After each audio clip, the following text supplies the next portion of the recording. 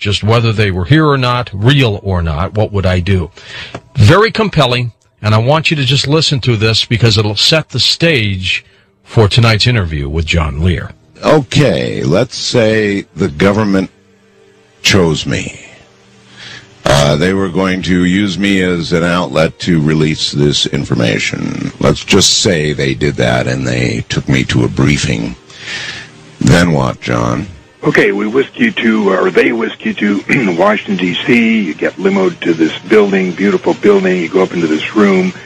Uh, they say, Art, you're the guy. Um, if you give us the go-ahead, we're going to release everything we know to the public. And if you decide to go ahead, all major networks will be provided with information on all aspects of the cover-up. No type of information will be withheld because of the deal for immunity for all participants of the cover-up provides that nothing, no artifact, no piece of information be withheld. So here's what happened, Art.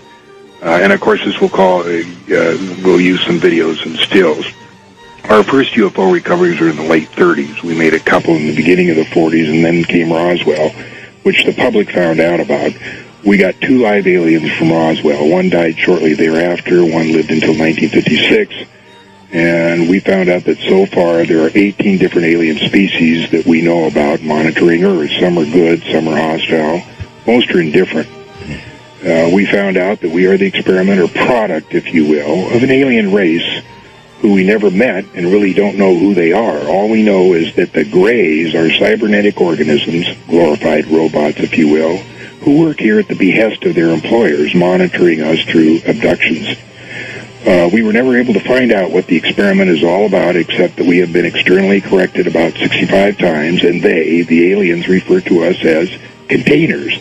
There has been speculation that the souls our bodies contains is the reason for the experiment, but nothing has been proven or determined. Since 1938, we have lost over 200 aircraft to UFO hostilities and thousands of soldiers in all kinds of different kinds of action with aliens. Since that time, several hundred thousand civilians have disappeared with no trace. several thousand were eliminated by us because of their chance encounters with aliens, which we could ill afford to have publicized.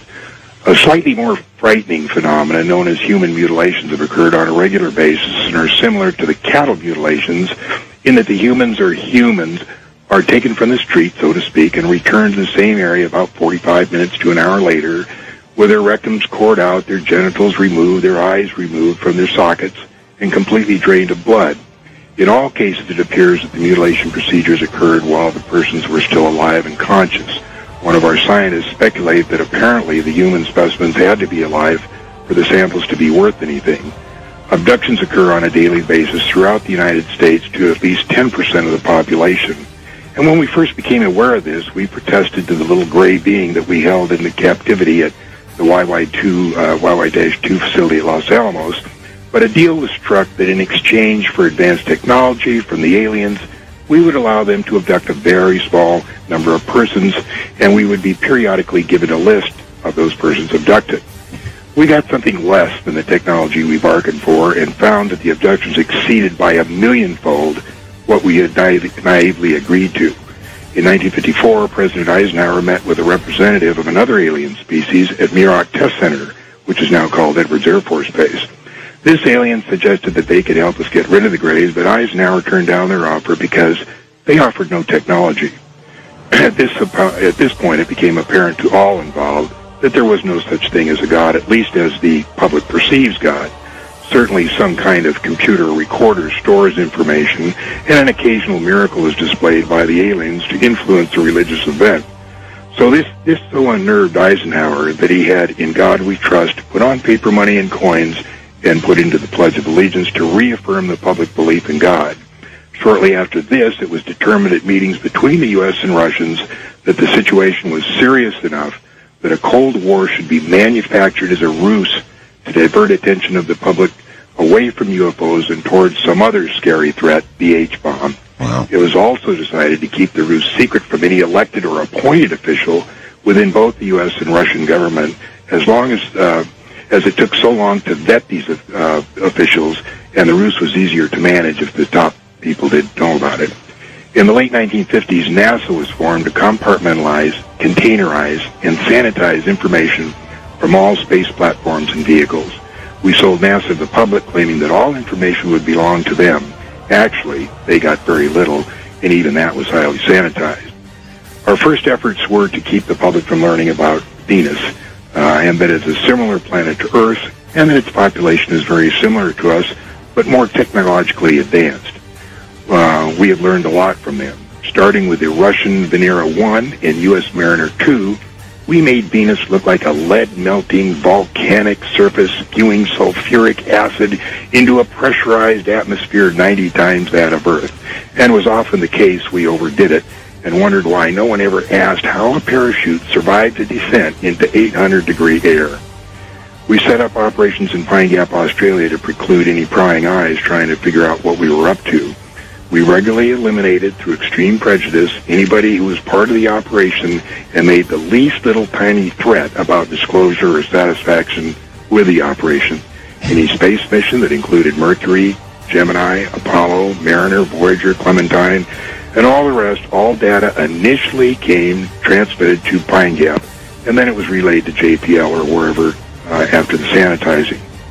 We had a little trouble with amateur radio operators, uh, but we figured out when they figured out how they could intercept these signals, but we managed to deal with that. When the Russian threat began to fade, we introduced Vietnam, which kept the public occupied for over 10 years. The cover-up and the personnel to run the operation began to get bigger and bigger and required more and more money. We were enforced to inflate the defense budget, which soon was not enough.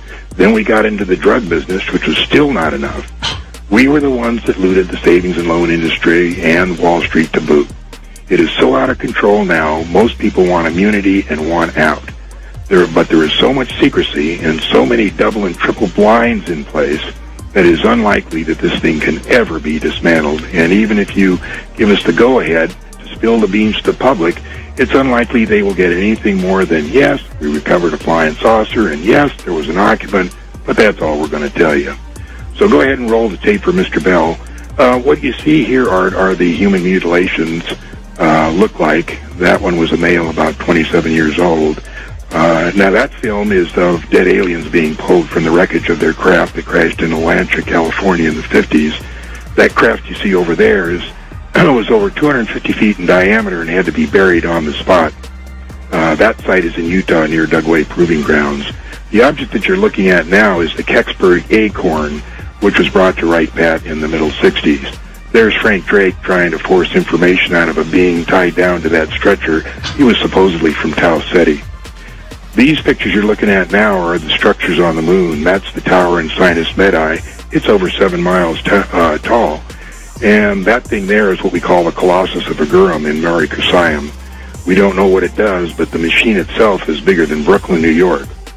Now, those are videos of the domes covering the craters. You can see that some are in a very advanced state of decay. Now, these are five-second slides of the 18 different alien species we are looking uh, at. That one there is the most gruesome looking. The guards at one facility are carefully indoctrinated over a period of several months, being shown pictures similar to, but not exactly like the alien. Only when they have been acclimatized, so to speak, of the horrible looking beings are they allowed to stand uh, in security positions.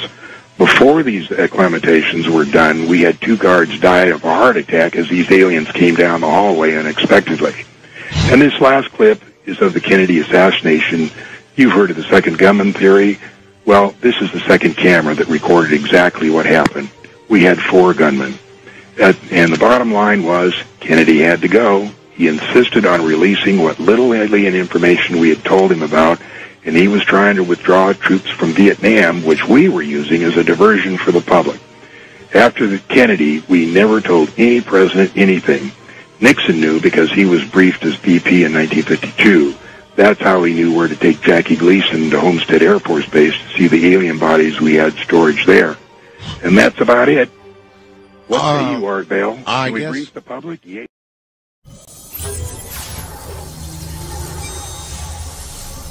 What?